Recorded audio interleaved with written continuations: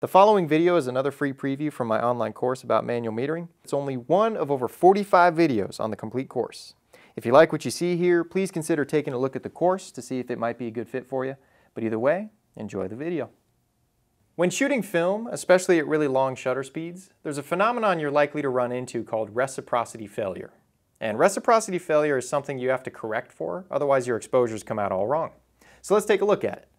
So reciprocity failure is a failure of the normal reciprocal relationship between shutter speed and aperture, causing an error in exposure. All right, I know that sounds kind of complicated, so let's break it down. So when you meter for an exposure, there are a variety of shutter speeds and apertures that would yield the same exposure.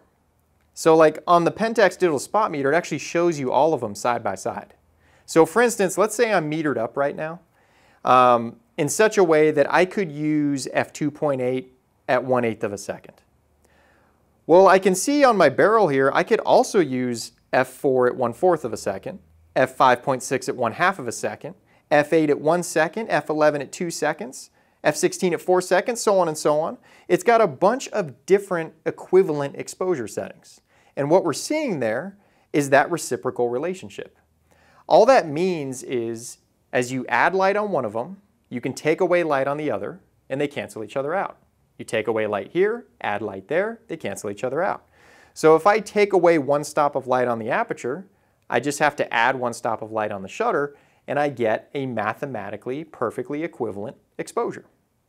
And that reciprocal relationship mostly works.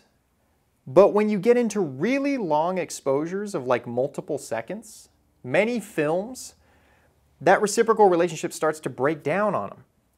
And suddenly, 2.8 at 1 8th is not the same as 32 at 15 seconds. It's more like 32 at 30 seconds or 32 at 1 minute. Like you have to actually use a longer shutter speed than the reciprocal relationship would uh, dictate. So that's reciprocity failure. And we have to correct for it, otherwise our exposures come out underexposed. So reciprocity failure occurs with especially long and extremely short shutter speeds. So multiple seconds, multiple minutes, that's when reciprocity failure really rears its ugly head. But it can also happen at extremely short shutter speeds. 1 four thousandth of a second, 1 eight thousandth of a second, those kinds of shutter speeds. That's much less common. Most modern films can handle quick shutter speeds no problem, but the longer shutter speeds definitely are still an issue. So let's concentrate on the long exposures. But whatever the case, compensation must be made by adjusting exposure from your metered settings. Generally, you have to add exposure to what your meter is suggesting. And the adjustment guidelines can be found in film datasheets or with an app. So film datasheets, uh, you can find these online. They're usually PDFs. You just go to Google, type in your film, Kodak Portra 400, film datasheet and then you'll find a PDF that has a lot of data about it. One section on that film datasheet is usually how to adjust for reciprocity failure. But there's also apps, uh, which is very convenient.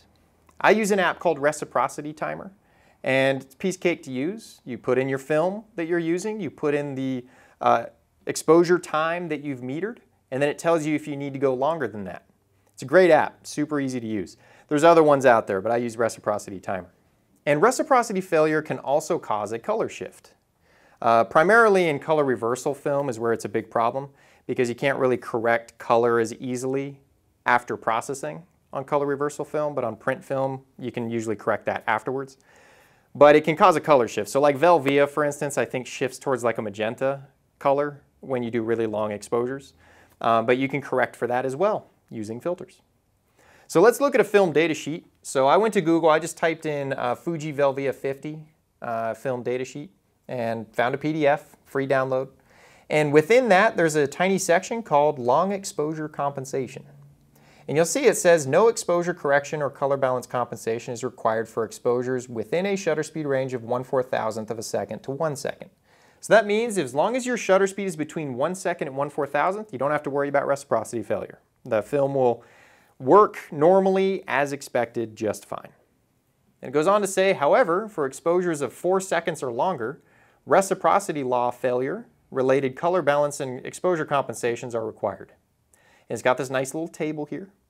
So for instance, it says, you know, if you're using, uh, if you have a metered exposure time of say 16 seconds, you have to add two thirds of a stop to your exposure.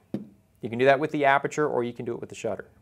It also has color compensating filter 10M. They make color correction filters, CC filters, color compensating filters as they're also called.